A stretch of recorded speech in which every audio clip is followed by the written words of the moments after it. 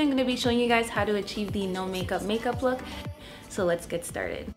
For my face today, I'll be using the Hourglass Veil Mineral Primer.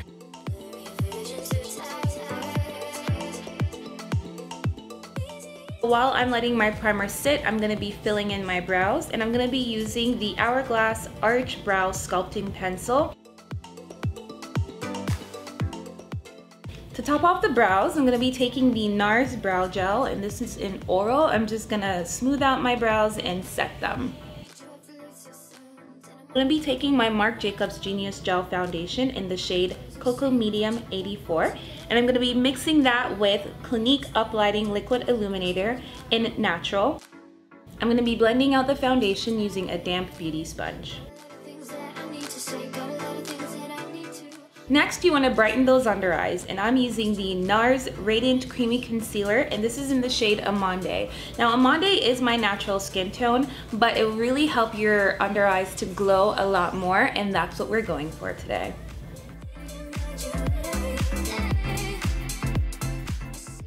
I'm going to be blending this out using patting motions with my beauty sponge.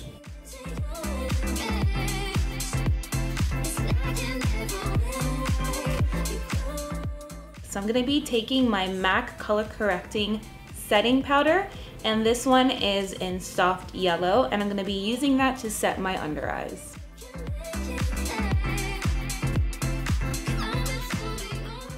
I'm gonna move on to highlighting the rest of my face, and that would include the bridge of my nose and my forehead.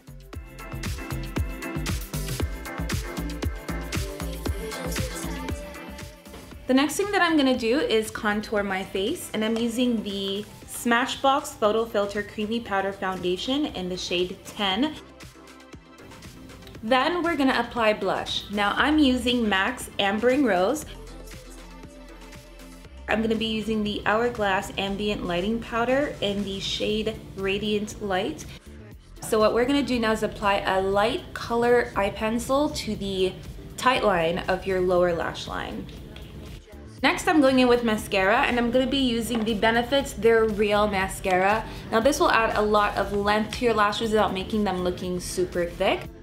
To finish up our whole look, we're gonna move on to the lips. Now I'm using Kat Von D's Everlasting Liquid Lipstick in the shade Lolita. To tone it down a little bit, I'm gonna be adding a brown lip liner on top and I'm using Cork by MAC.